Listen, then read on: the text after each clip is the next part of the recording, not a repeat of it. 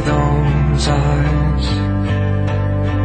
Makes it so hard not to